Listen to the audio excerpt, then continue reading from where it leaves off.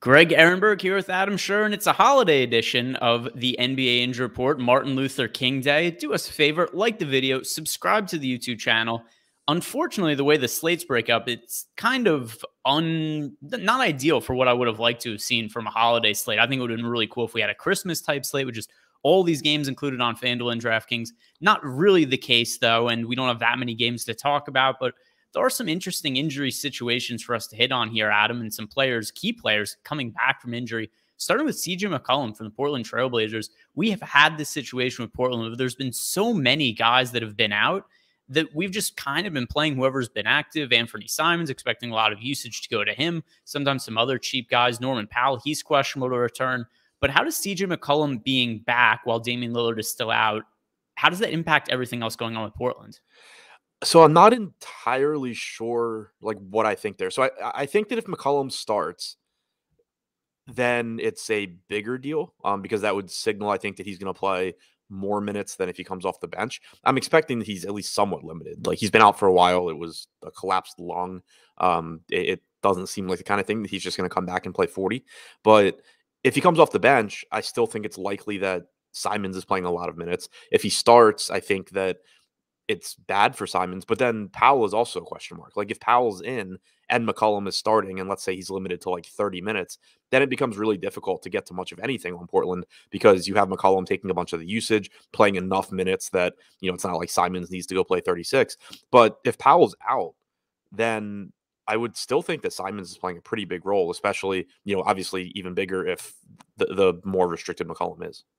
Yeah, and that's something else too. That there, there's still some other variables to consider here. Is McCollum going to be restricted? Is he going to start? Is he going to come off the bench? Is Norman Powell going to be in? Certain guys on the team like Jusuf Nurkic, Anthony Simons, they could be greatly impacted by McCollum being back.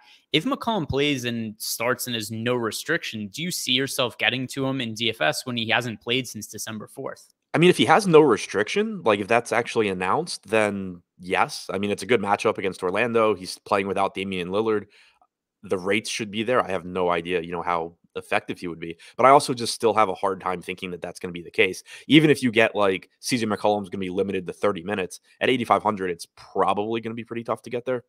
If it's less than that, I think it becomes really, really difficult. And the next team we have to talk about, it's a somewhat similar situation where Bam Adebayo, he has not played for a very extended period of time injured his thumb. It was a UCL injury. He ended up having surgery on it. He has not played in quite some time. He's questionable to return. Assuming he is back in the mix, what do you expect from him and how does that impact other players on the Heat? Yeah, I mean, if he's back, then I assume that's sending Yurtseven back to the bench, which would make it pretty impossible to play him at 6,800. Um, it the the fact that it's a thumb injury for Adebayo, like I would think, I, I, think it's still likely he ends up being limited just because he hasn't played since the end of November. But if I had to guess between him and McCollum, like which one is less likely to be limited, I would assume it's Adebayo. Um, so I mean, if we get a report that he's just good to go, then at 7,800, I think he's a decent option. Um, but I think most likely it just ends up kind of being a similar situation where it takes Yurtseven out of play. It makes PJ Tucker look less appealing. Not that PJ Tucker ever looks that appealing, um, but that chances are it's going to be difficult to get that about to get Adebayo as well. The NBA injury report is sponsored by Yahoo Daily Fantasy Sports. If you guys are new to Yahoo, click on the link in the description box below. Head on over to Yahoo, make a deposit, enter a contest. You get one free month of Awesemo Plus Platinum. We have all the tools you need to make money at DFS ownership projections, player projections, player rankings, and so much more. Stop guessing, start winning. Join Awesemo Plus today. And uh, like I was saying, there aren't that many injuries to talk about, just given the way that this slate has been broken up into a bunch of smaller slates that we're recording in the afternoon. So a bunch of these games have already been uh, already underway or about to start. But the final one to hit on in the later slate of games, DeAndre Ayton is questionable to play, and we've seen a whole bunch of situations for the Suns this year when Ayton has been out. But now we also have JaVale McGee is active. So the last time Ayton was out, we were seeing Jalen Smith as a go-to guy. How do you anticipate the center minutes would shake up for the Suns if Ayton is out today? My assumption is that McGee would start. I don't know for sure. I mean, they could certainly go to to Jalen Smith, but uh, for what we've seen for most of the season, I would expect if Ayton's out, then McGee's getting the start. That Smith's playing behind him at 3,700. I think at this point, everyone knows to just get McGee into your lineups uh, if he's starting. Yeah, which I think is a total, totally reasonable way to look at it. Something else to consider. Cameron Johnson is questionable, which eliminates the possibility if, if he's out for the Suns to play smaller ball lineups.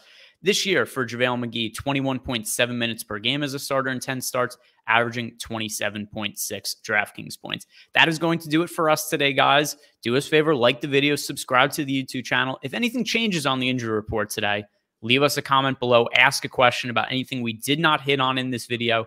Other than that, good luck and enjoy the holiday.